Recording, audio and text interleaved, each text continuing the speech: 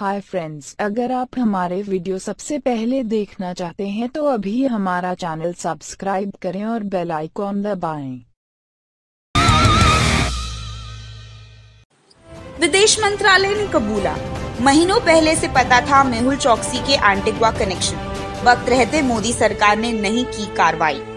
PNB घोटाले के आरोपी मेहुल चौकसी को लेकर अब मोदी सरकार सवालों में घिरती जा रही है। अब ये बात सामने आई है कि सरकार को महीनों पहले से उसके इरादों का पता था, फिर भी उसने वक्त रहते सही कार्रवाई नहीं की।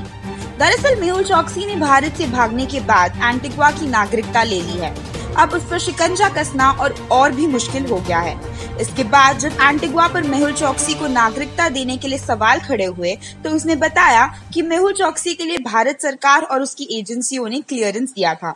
एंटिगुआ का कहना है कि भारत सरकार से चौकसी के खिलाफ कोई सूचना नहीं थी। यहाँ तक कि सेबी ने भी चौकसी के नाम पर मंजूरी दी थी। चौकसी के बैकग्राउंड की सख्ती से जाँच की गई, लेकिन उसके खिलाफ कुछ नहीं मिला था।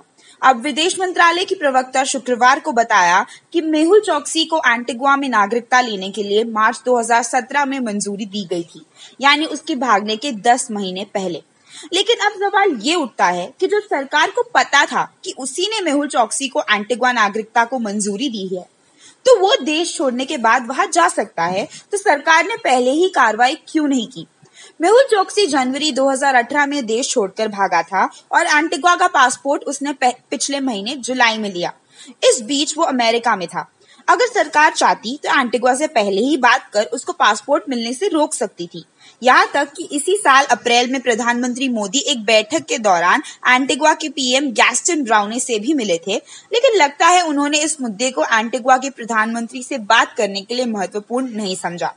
बता दिए कि पीएनबी बैंक में चौदह करोड़ रुपए का घोटाला सामने आया है।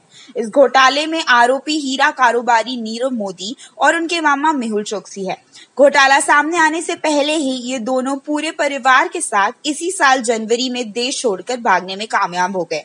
नीरव मोदी देश के सबसे बड़े उद्योगपति मुकेश अंबानी के रिश्तेदार हैं। मुकेश अंबानी को मोदी सरकार का करीबी माना जाता है। स्विट्जरलैंड के दावोस शहर में हुए वर्ल्ड इकोनॉमिक फोरम की बैठक में नीरव मोदी को भी प्रधानमंत्री मोदी के साथ देखा गया था। इसके अलावा मेहुल पर 5,280 करोड़ रुपए के एक और बैंक घोटाले का आरोप है। सीबीआई आईसीआईसीआई बैंक के नेतृत्व में 31 बैंकों के एक कंसोर्टियम से मेहुल चौकसी और उनकी कंपनियों द्वारा 5,280 करोड़ रुपए के एक और लोन की जाँच की जा रही है।